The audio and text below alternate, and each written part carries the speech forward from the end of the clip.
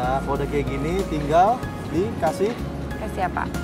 kasih Oke sahabat harmonis, sekarang kita lanjutkan bikin kepitingnya. Kepitingnya saya mau bikin lada hitam.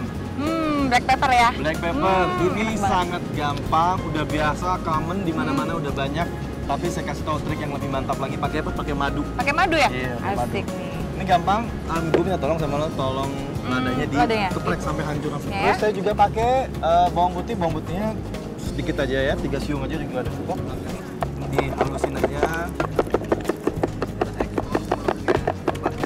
Nah, daning terus Udah. aja ya. Iya, terus terus ya sampai Soalnya halus. mas- masih harus motongin bawang bombay. Hmm. Bawang bombay ini cocok ya untuk lada hitam.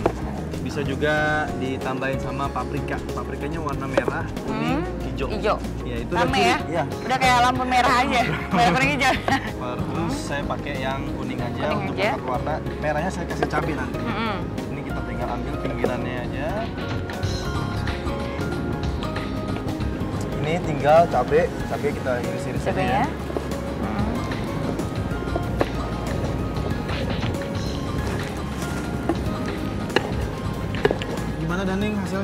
Gimana itu?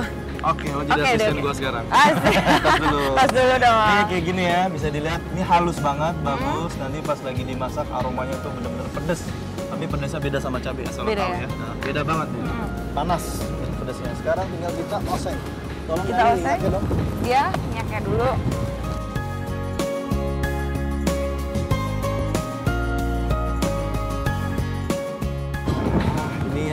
Pertama kali masuk. Bawang putihnya dulu kita masukin Hmm.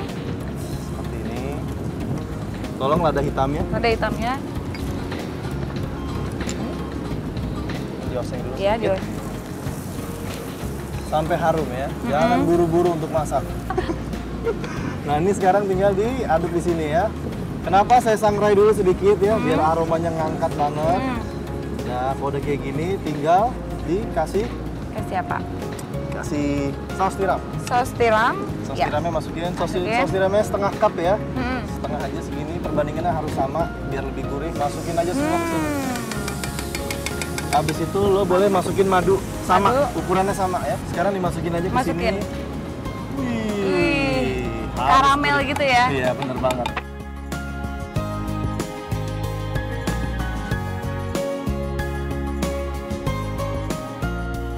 Kepiting seger banget. Seger banget. Masih hidup seperti ini. Sekarang untuk proses kepitingnya ya, tinggal Hmm. ditusuk aja sebelah sininya.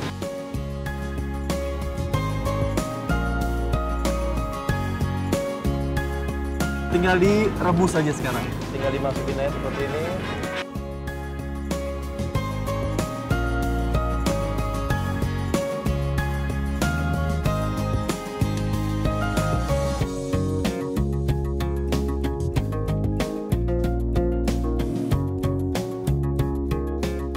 Ini sahabat harmoni, Daning, udah bersih kayak gini ya. Hmm? Udah bersih ya, udah terbagi. Udah bagus, Ah, udah tinggal bagus. dagingnya aja yang kita Hmm. masak sekarang.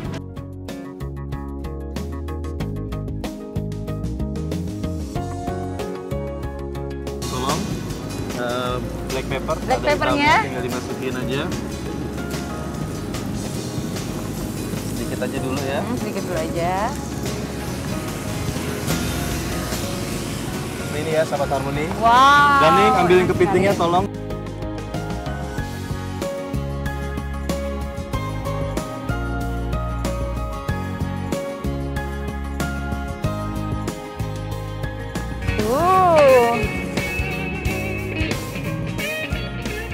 Itu Gali eh, cuman bentar aja gitu ya? Bentar aja. Enggak. Karena apa kan sausnya kan di luar. Hmm. Dia nggak masuk langsung ke dalam kepiting karena kan keras.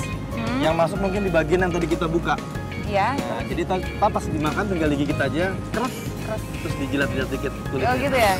Aduh, Nah, gitu caranya makannya ya. Tinggal kita tata aja ya di sini ya. Ya. Hati-hati.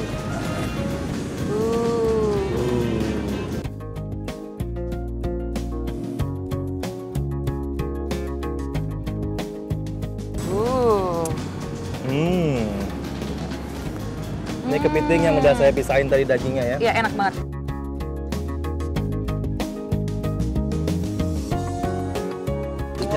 Sama.